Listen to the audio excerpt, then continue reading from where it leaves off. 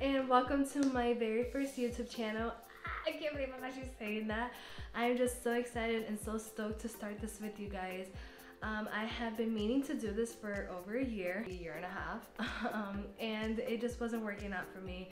Uh, I think I feel like it was just the fact, the way I actually put a lot of thought into it and just overthink it a whole bunch um, I would just look at myself the way I looked or the way I sounded or the way the videos weren't coming out right.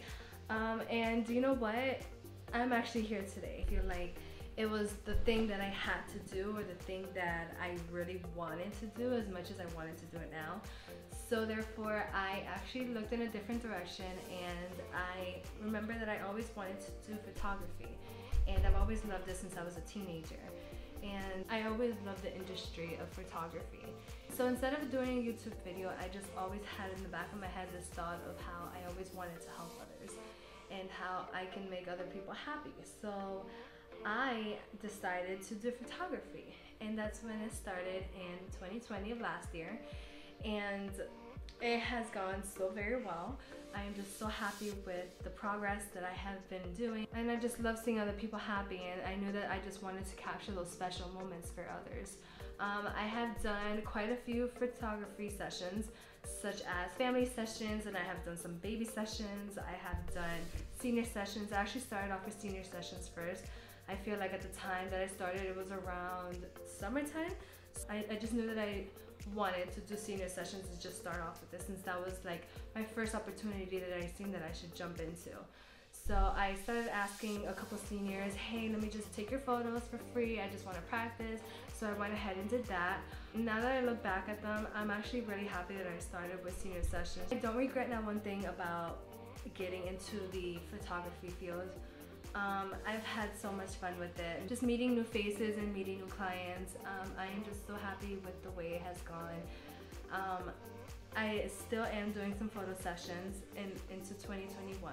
Um, my last one was some Christmas photo sessions and I overall love doing them. I just love the decorating part and that's another thing that I love. I love decorating so I just felt like if I could put that into taking photos at the same time then it'd be so much fun. I always got my inspirations from Pinterest and uh, from Pinterest and other photographer pages that I would follow on Instagram. TikTok was another main social media platform that I would always get my ideas from. Uh, you know, I'm not perfect and to this day I am still learning how to perfect in this field or how to make it better, should I say, because I just feel like I have that in me.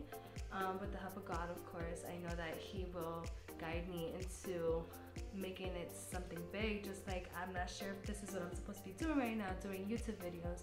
But you know what? At least I'm trying and at least I am putting my foot through the door. I am a huge huge huge believer of the phrase saying that everything happens for a reason. And I feel like I got into the photography business because that's what God led me to do. And I just believe in that phrase because behind it all it's all part of God's plan I just feel like everything has to happen according to his way, even if you don't know the reason for it at the time. Um, I actually didn't go to school for photography and I didn't take any courses. I just did all my researches online.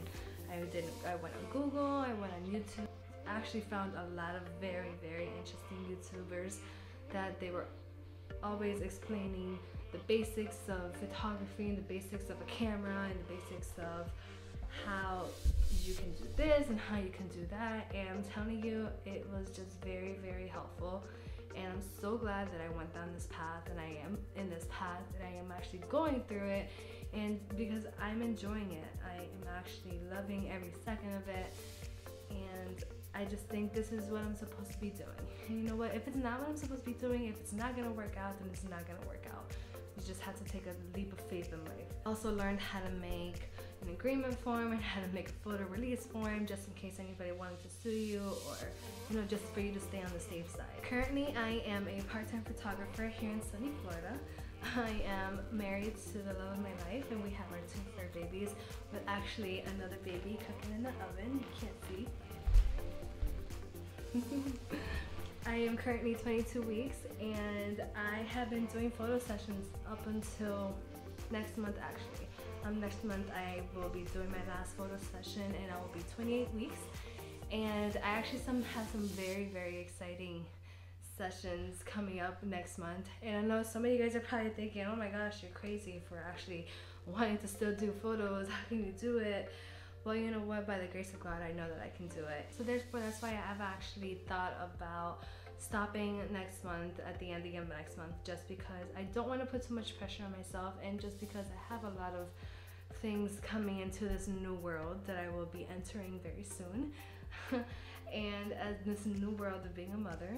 And I'm very excited to meet my baby boy, of course. I actually am very excited to show you guys some content that I'll be sharing with you guys in the next couple months. So here I am, you guys. I am so excited that I am finally doing my first YouTube video on my YouTube channel. And I hope that you guys stay tuned for a lot of upcoming content videos that I will be sharing such as behind the scenes, my photo sessions. You guys just stay tuned and don't forget to subscribe and I hope to see you guys soon. Thank you so much. Bye bye, guys.